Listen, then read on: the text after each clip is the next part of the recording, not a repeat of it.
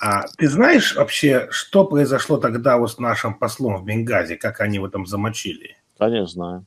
Я У знаю. меня есть целая программа про а это. Можно сказать в двух словах сейчас, что это было, или лучше ты не рассказывать в прямом эфире? А, а, нет, а это было известно, что оружие, которое мы туда послали, оно оказалось в руках Ал-Каиды, в руках ИГИЛа, вот эти стингеры, и они послали, чтобы у них забрать это обратно, выкупить. Когда они э, туда послали, там пошло что-то не так, они их обманули. И чтобы это все не всплыло, а это же было сделано по разрешению Обамы, это он разрешил э, все это оружие туда переслать, и оно оказалось в руках тех, которые убивают наших солдат.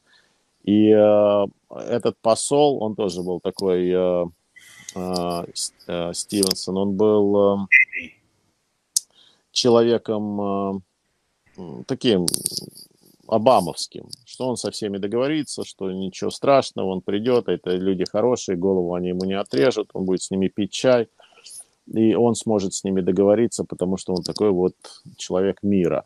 Его предупреждали наши ребята, там, что это так не получится, что они, ну, вот он решил. Они когда потом просили подмоги, чтобы больше, больше там ребят, ну это я вкратце все рассказываю, э, было больше охраны, им Госдеп не дал этого.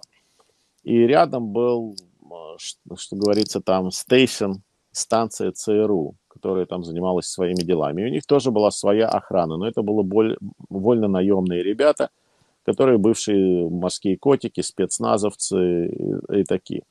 И когда произошло нападение на вот этот консул, ну, ну консулат, ну, посольство, можно сказать, да, чтобы люди понимали, там есть разница между консульством и посольством где был этот а, посол, то а, они перепугались, и Клинтон перепугался, и Обама перепугались, что сейчас все узнают, что сейчас все это всплывет. Поэтому лучше, чтобы они там погибли.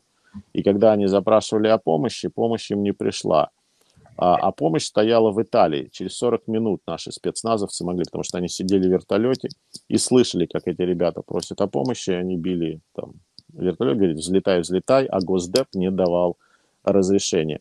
А, обычно как это должно работать? Потому что для всего есть инструкция, как должно работать. Когда захватывают нас посла где-то, или когда нас захватывает какую-то территорию Америки или посольство, это уже было разработано с 1979 года, когда иранцы захватили наше посольство.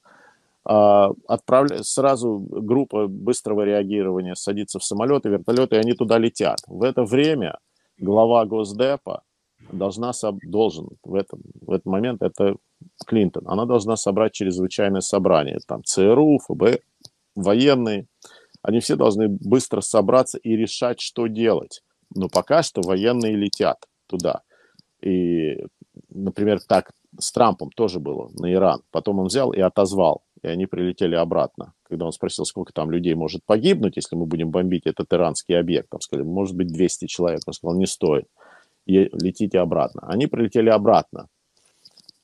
А, а тут не дают разрешения даже вертолету взлететь вертолетом, чтобы пойти на спасение этих ребят. И, но вот эти ребята, которые охраняют ЦРУ, они это слышат. И они знают, что это недалеко. И они добровольно говорят, надо спасать посла. Они идут туда добровольно и запрашивают. Они там 48 часов бьются против армии. Они запрашивают, а Клинтон не собирает ни совещания, э, э, чрезвычайного и делает только один звонок ночью Обаме. Один да, звонок. Он сказал, иди спать. Он сказал, это придумаем потом, что это. И они придумали, что это были протесты против э, того, что показали какое-то видео, где оскорбили Мухаммеда. И такие, ну, случайность, конечно, в которых я никогда не верю. Это было 11 сентября, да, такая дата. И это было, и они кричат же, эти ребята, это организованная атака, это никакой не бунт, никакой не мятеж, ничего, это организованная атака, вооруженные люди нас обстреливают везде, и мы долго здесь не продержимся, нас мало. И, конечно, ребята погибли там, многие пострадали.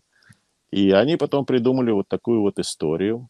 И э, на этом все затихло. А как ребята спасались? Я знаю, что они за свои деньги наняли летчика, да, улетали? Не, они там, там, да, они там, э, ну, у них же есть друзья, там в конце концов при, прибыла группа им на помощь. Да, в конце концов. Но это за, они там деньги, ну это они внутри страны там, чтобы их, э, э, чтобы их э, иракцы до, долетели, довезли до этого консулата, они, да, они им заплатили.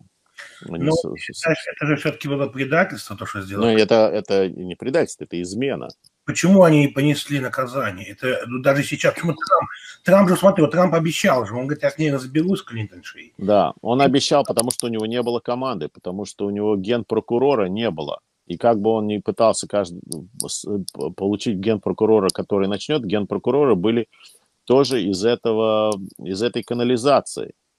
И э, каждый раз они все это тормозили. Но даже, послушай, даже преданные ему люди, такие как Помпео или все такое, они тоже не могут все сделать, потому что вот этот средний или высший э, уровень бюрократов, будь то ФБР, будь то Госдеп, будь, будь то любое другое министерство, они все, они все часть этого болота. И они, конечно, да, они понимают, что вот этот министр, он сейчас пришел, через пару лет его не, он уйдет, а я-то здесь остаюсь, я-то все время. И они тормозят, они, это- это- а как он их может заставить что-то сделать? Они говорят, да, ищем, да, работаем, да, вот сейчас будет, да, да, да, Знаешь, да, я да, да. ФБР? Я ФБР, А? я ФБР, знаешь, как называю в последнее время? Да. ОПГУ. Главное политическое управление к демократической партии. К сожалению, да, ФБР потеряла свой, потому что это была одна из самых, э, э, самых, как можно сказать, кристальных организаций, куда шли э, служить. Я сам шел в ФБР служить, но в конце концов я остался на службе во флоте. А это, это было очень престижно там быть. Это были одни из самых... Это монахи были, знаешь, там все были высокообразованные люди, они все были или бухгалтеры, или у них были какие-то профессии, или в медицине они имели профессию, или они были в основном все юристы, но они работали, служили за копейки, потому что это, это давало им честь, это давало очень много престижа быть агентом ФБР. Но, к сожалению, они потеряли это сейчас, и, и им это э, обратно получить, такую, такой статус в обществе, я думаю, займет очень-очень долго, если кто-то там не начнет совершать какие-то подвиги, как они это делали раньше. Это были неподкупные, э, преданные Конституции, преданные флагу люди. И я надеюсь, что среди молодежи там еще осталось, но вот эта верхушка, конечно, там гнилая.